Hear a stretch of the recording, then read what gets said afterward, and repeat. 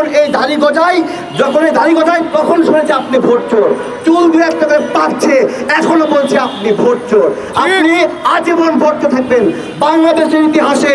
বঙ্গবন্ধু বাকশাল কায়েমের সময়ে একজন কবি লিখেছিল ভাত দিয়ে হাত দাদা। আজকে যখন লিখলো আমার মাছ মাংস চাইলে স্বাধীনতা চাই। শেখ হাসিনা ওই ভাত দিয়ে হাত দাদা শুনতে পেরেছে। ঠিক। ওই হাত শুনতে পেরেছে। ওই একই রেড অ্যালার্ট যে আমার মাছ মাংসের স্বাধীনতা চাই চাইলে স্বাধীনতা চাই। কারণ উনি তো দুই দিন আগে বাইশ পদের তরকারি দিয়ে কিশোরগঞ্জে খেয়ে এসেছে। ঠিক। ওনার এই অনুভূতি নাই যে মাছ মাংস এবং চাইলে স্বাধীনতা কি। উনি সবচেয়ে ফ্রেশ খাবারের জন্য গণভবনে বেগুন চাষ করে মূলা চাষ করে আলু চাষ করে যেন কোনো ভেজাল না ঢোকে। ওনার গণভবনের বেগুনের কেজি কত করে পড়ে? ওইখানে যে বেগুন চাষ করে। জনগণের খেয়াল বাদ দিয়ে কবে থেকে উনি এই বেগুন চাষের মনোযোগী হলেন আমি জিজ্ঞাসা করছি।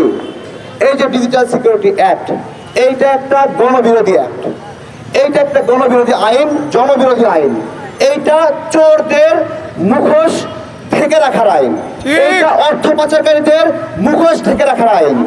এইটা ত্রাণ চোরদের গোপন করার আইন। এইটা স্বাধীনতা বিরোধীদের আইন, এইটা স্বাধীনতার বিরুদ্ধে আইন।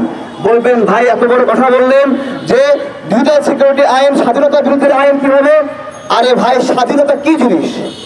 স্বাধীনতা আমার কথা বলার স্বাধীনতা, আমার খাওয়ার স্বাধীনতা, কর্মসংস্থানের স্বাধীনতা, আমার বেঁচে থাকার স্বাধীনতা। আজকে হেফাজতে নিচ্ছে পুলিশ। পুলিশের হেফাজতে নেওয়ার পরে সেই লোকে আরও নিরাপদে থাকার কথা। কিন্তু সেখানে মারা যাচ্ছে। র্যাব হেফাজতে নিচ্ছে সেখানে মানুষ মারা যাচ্ছে, হত্যা হচ্ছে। এইটার নাম স্বাধীনতা? তাহলে কি আমরা বলি, একাত্তরে যেমন স্বাধীনতা বিরোধী ছিল, এখন যারা জনগণের বিরুদ্ধে কাজ করছে, তারা এই প্রজন্মের স্বাধীনতা বিরোধী? আমরা স্বাধীনতা বিরোধী, এই ডিজিটাল সিকিউরিটি অ্যাক্ট বাতিল চাই। আজকে শেখ হাসিনাকে সিদ্ধান্ত নিতে হবে। আর মাত্র এক বছর সময় আছে, এক বছর নয় নয় মাস, দশ মাস আছে।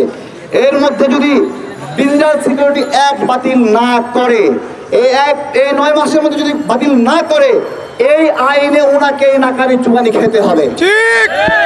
এই আইনে ওনাকে ওই লাল ঘরে ঢুকতে হবে। ঠিক। ওনার হাজার হাজার কর্মী বিএনপির মতো আবার ঢুকবে।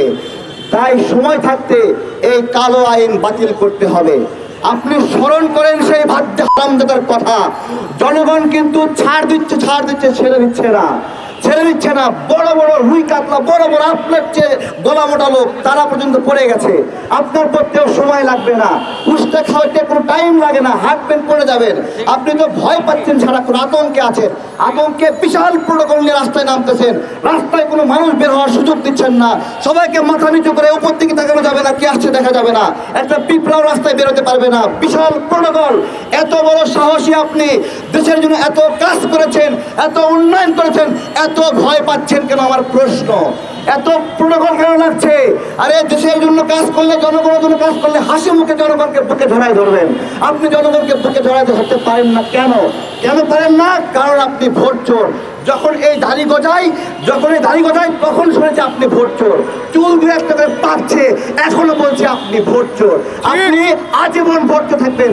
বাংলাদেশের ইতিহাসে শামসুজ্জামান সাংবাদিকের নাম লেখা থাকবে কিন্তু। কারণ মাছ মাংস চাইলে স্বাধীনতা লেখা সে বলেছে ওই একাত্তর টিভির নাম কেউ মনে রাখবে না। ঠিক একইভাবে মনে রাখবে আর একদিকে ভোট চোরের।